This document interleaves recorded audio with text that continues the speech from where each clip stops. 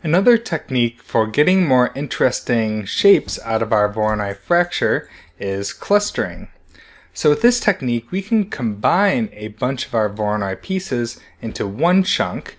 For example, we could perhaps combine all of these pieces into one uh, larger piece to create shapes that are more interesting than any single Voronoi shape would provide. Now the traditional way to do this was to add a cluster attribute to our input points. Right now we only have 20 points in here. Let's increase this to something like 4000 for this demo so that we can really see the shapes represented well in our point cloud. And then let's create a point VOP to apply that cluster attribute. We'll be using lots of VOPs and Wrangle nodes, and the same task can often be accomplished in either a VOP or a Wrangle. But when working with noises, I usually like to work in VOPs. In VOPs, it's really easy for us to create a few different types of noise. You can create you know, anti-aliased noise, you can create a unified noise, and in this case, we're going to create a Voronoi noise. Uh, the interesting thing about the Voronoi noise is that instead of these sort of uh, fluidly changing values throughout space, uh, the Voronoi noise is going, going to operate similarly to uh, the shapes that we get out of a Voronoi fracture. That is, it will create cells of values and give us a different integer value for each, uh, each one of these cells. This will be more obvious when we visualize the noise uh, with some color. So we've created a Voronoi noise node here, and we'll connect our input position P and to the sample position of the Voronoi noise.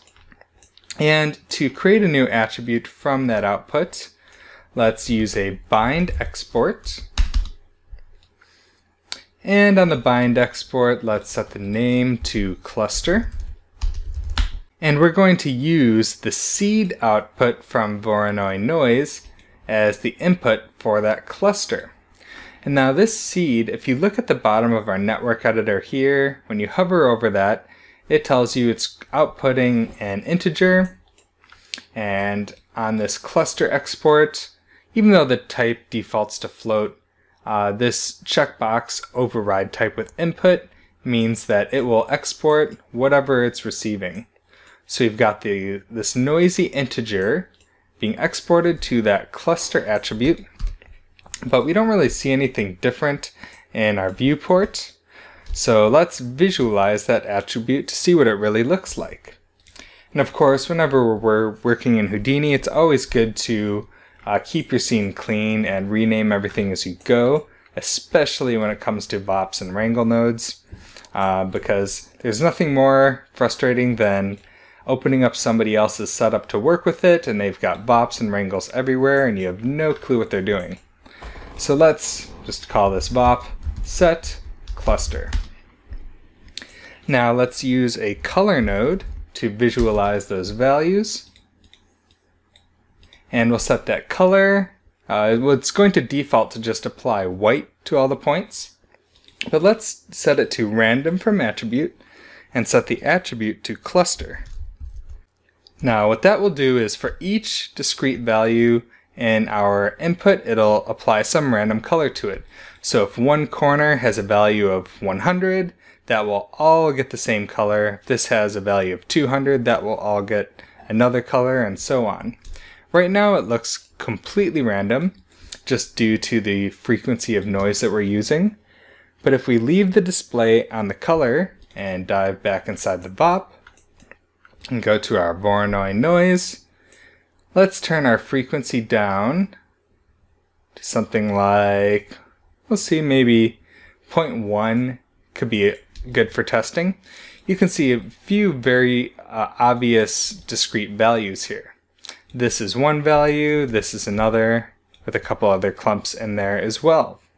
So it's very important to be able to visualize these things when working with noise. Now, if we execute our Voronoi fracture, uh, it doesn't really look any different than if we just ran the points in directly without any clustering whatsoever.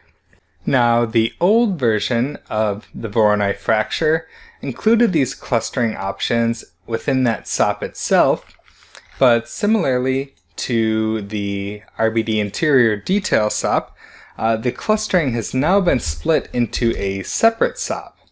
Along the same lines, this means that we can use the same clustering functionality regardless of whether we've done a Voronoi or Boolean or something else entirely. So if we connect the RBD cluster to that Voronoi fracture output, it's not going to be doing anything just yet. Now, I found some of this default behavior to be pretty unintuitive, um, and you have to watch out for some of these default settings. Like there's this random detach that's turned on, and that means it will randomly detach pieces from the clusters you've defined.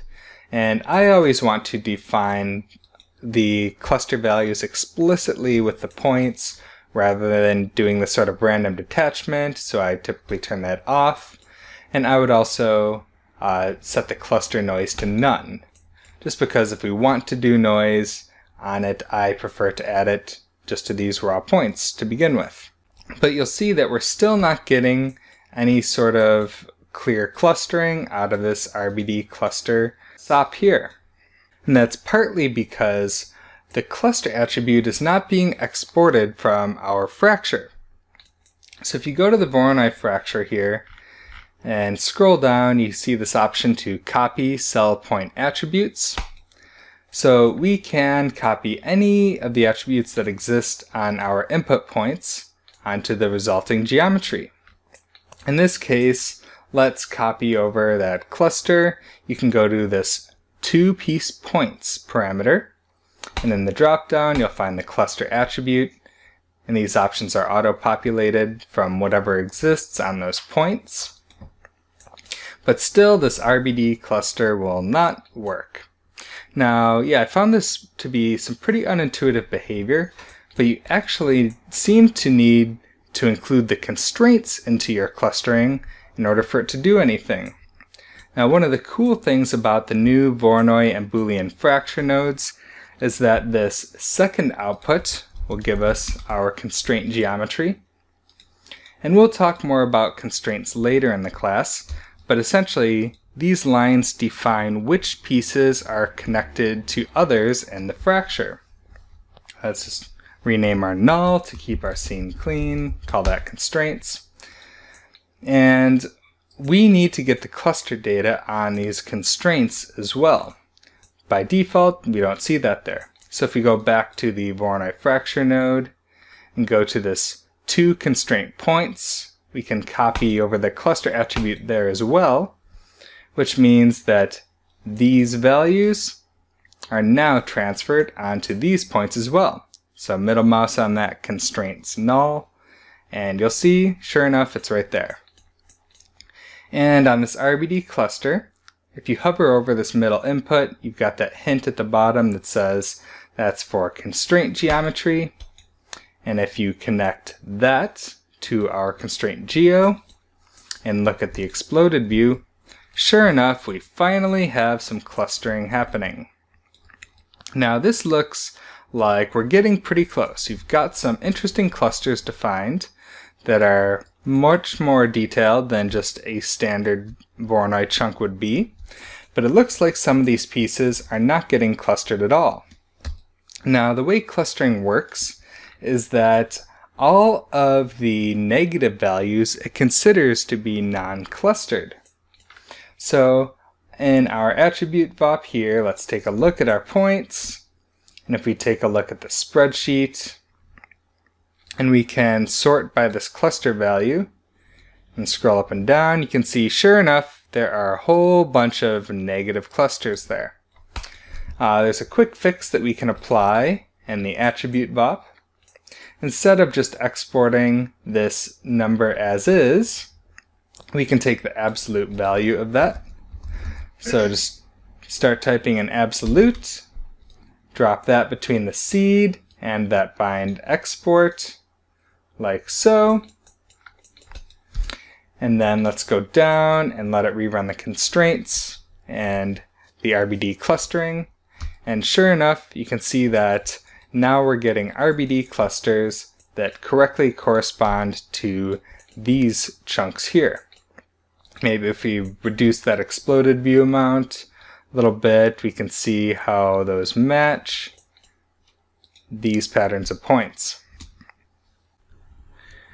Now these clustered sections that we've created are still not the most interesting shapes, and generally I don't use this Voronoi noise to define cluster values.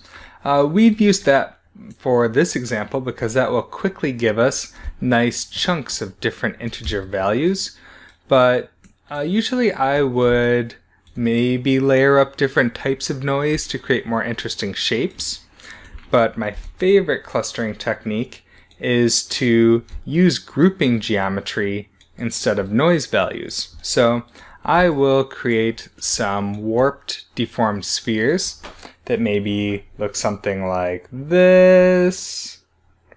Maybe some other spheres here like so.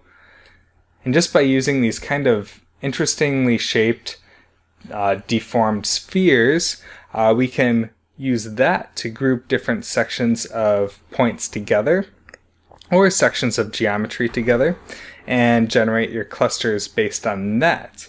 And we'll get more into that later when we take a closer look at constraints, but just wanted to point out that, you know, this Voronoi noise isn't sort of the uh, the end of our directing those cluster values by any means.